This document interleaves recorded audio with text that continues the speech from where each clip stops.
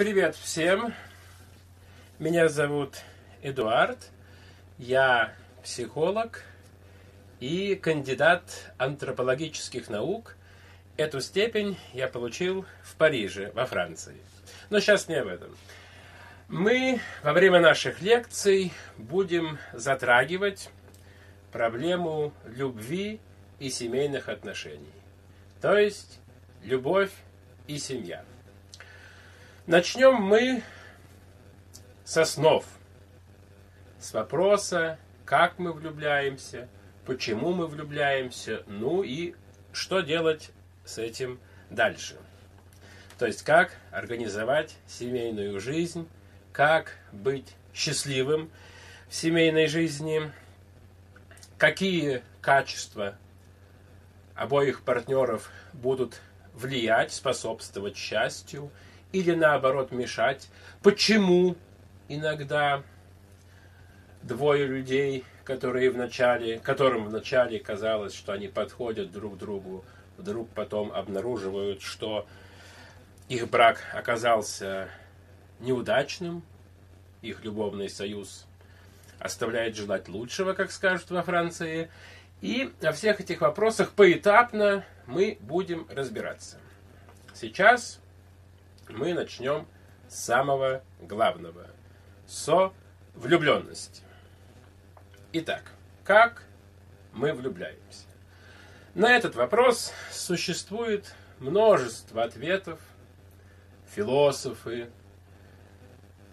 разные религии, христианство, буддизм, например, греческие философы, психологи, психоаналитики имеют ответы, которые несколько разнятся, но в то же самое время, которые сходятся.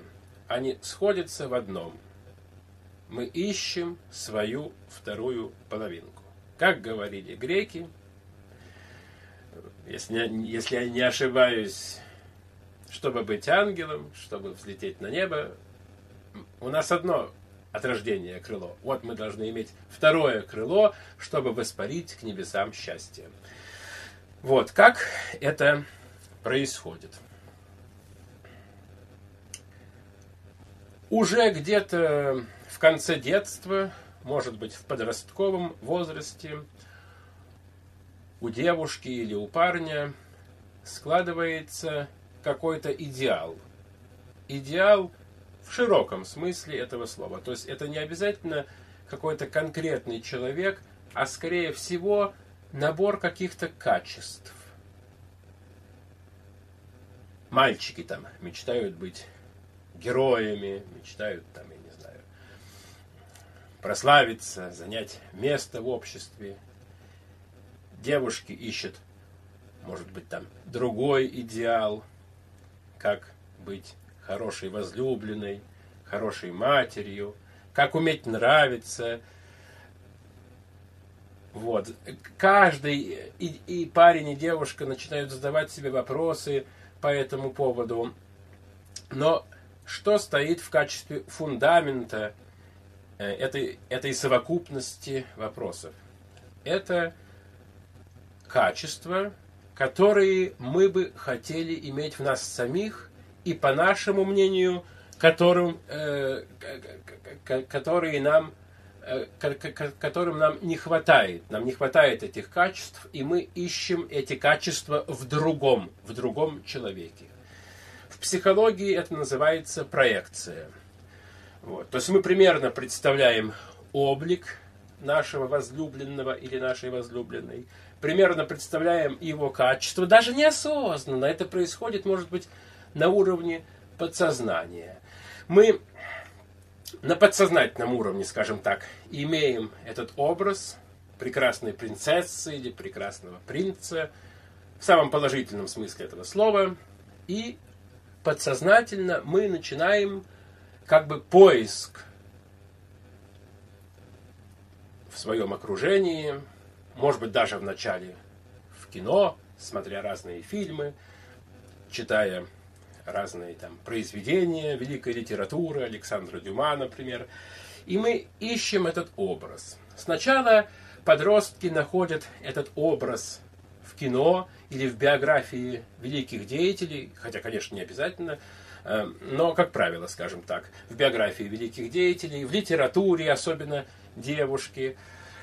Вот. И этот процесс этот неосознанный, вы понимаете, потом человек пытается, опять же неосознанно, повторюсь, найти этот образ в жизни. И у парней это в основном внешние данные, у девушек любовь гораздо более утонченная, что ли, и сложная, plus complexe, как скажут по-французски. L'amour est plus complexe chez la femme. N'est-ce pas? Как скажут французы, опять же. То есть э, у девушек феномен любви более утонченный. Вот, ну начнем с парней. Вот парень видит девушку, которая подсознательно, как ему кажется, соответствует его внутреннему представлению о физической, чаще всего физической, но и душевной красоте, ну, скажем так, идеальной возлюбленной. И он тянется к этой девушке, его влечет к этой девушке, и он, преодолевая масса запретов, может быть, некоторого незнания в вопросах любви, как часто бывает, начинает тянуться к этому светлому, прекрасному образу. И тут происходит интересный феномен. Парень проецирует искомые им качества на реального человека. Повторюсь, вот этот вот образ, который уже создался в его подсознании, проецируется на живого человека. И тут начинается страстная влюбленность. Парню кажется, что девушка является идеальным воплощением того объекта, того образа, который он ищет. Вот здесь срабатывает такой механизм подсознательный, что он ищет и он находит. Вот. Девушка, чувствуя в ответ, как бы, ну, образно говоря, пожелание, подсознательные потребности своего будущего партнера, вольно или невольно пытается под них подстроиться. Вообще-то, конечно, этот процесс взаимный, потому что если девушка нашла, если любовь э, имеет ответную реакцию, l'amour partagé, как скажут французы, девушка в парне тоже находит, что ли, идеальный образ, предпочитает видеть в партнере те черты, которые, так сказать, находятся у нее в подсознании. Она успешно проецирует эти черты на своего возлюбленного, и тот как бы, ну знаете, это как говорил Бордье, великий французский э, социолог, что мы отвечаем на проекцию, которую другой делает на нас. То есть девушка проецирует этот идеальный образ на парня, и тот, даже не замечая этого, старается этому соответствовать. То есть получается взаимная подстройка. У девушки есть идеал, у парня есть идеал. Эти два образа начинают носителями которых они являются, эти два человека, вот эти вот два образа начинают друг под друга подстраиваться. И возникает страсть. В мозге в человеческом происходит выброс эндорфинов, то есть гормонов счастья. Каждый из партнеров чувствует опьянение, чувствует опьянение этой страстью. Друг без друга они жить не могут. Буквально один час уже считается, так сказать, как,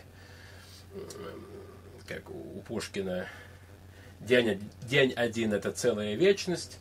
Вот. И это, этот период называется страстной влюбленностью.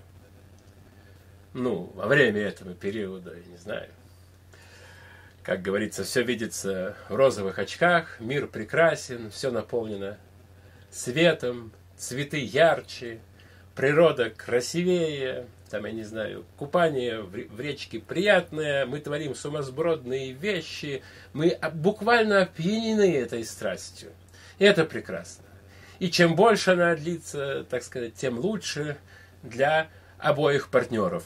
Это страстный период влюбленности. Ну, дальше уже зависит от морали и нравственности того или иного человека. Иногда за этим следует физический контакт довольно быстро. Вот, иногда люди предпочитают подождать. Но дело даже не в физическом контакте, вопреки распространенному мнению. Дело в самой страсти, в присутствии партнера, возможности прикоснуться к его руке, возможности там, поцеловать его в щеку, может быть, даже в губы, возможности поговорить, поделиться о жизненном опыте. Тут же возникает откровенность, хочется рассказать все, самые сокровенные тайны. И это очень полезно, потому что возникает впервые у подростков психологическая поддержка, взаимная психологическая поддержка, в которой они очень нуждались. Потому что, естественно, мир взрослых – это другое поколение, и уже взрослые не в состоянии понять э, изменившейся, скажем так, психосоциальной ситуации и в обществе, и внутри индивидуума. И это является периодом счастья. Страстная любовь, вот, которая может продолжиться официальным оформлением отношений, то есть браком, венчанием там, и так далее. Вот. И этот период страстной влюбленности, по мнению психологов, длится не более четырех лет. Максимум 4 года. Пик приходится там, не знаю, пик стра- страстности где-то длится 1-2 года. Вот. Потом идет некоторый спад. Вот. Но пока мы пребываем в страстной влюбленности, мы очень-очень счастливы. Итак, подытожим что было сказано. Вернее, даже подчеркнем главную составляющую страстной любви. Любовь – это проекция. Проекция внутреннего образа, может быть, даже не существующего нигде, на реального человека. Но не будем бояться этого. Это все нормально. Вообще отношения, любые человеческие отношения без проекции невозможны. На любого человека мы что-то проецируем. На друга, на отца, там, на маму, на бабушку, на соседа. Мы что-то проецируем. То есть мы проецируем какой-то образ, который у нас в голове. Мы никогда не видим ни одного человека такой, какой он есть на самом деле. Даже сам человек сам себя не знает полностью. Он не знает, какой он есть на самом деле. Он пытается соответствовать, так сказать, воспринятым им э, нормам, нормам общественной морали, нормам общества, нормам окружения, он играет социальную роль. Если хотите, играет земную роль. Он не знает, на что он способен до конца, как и в отрицательном, как и в положительном смысле. То есть мы сами себя до конца не знаем.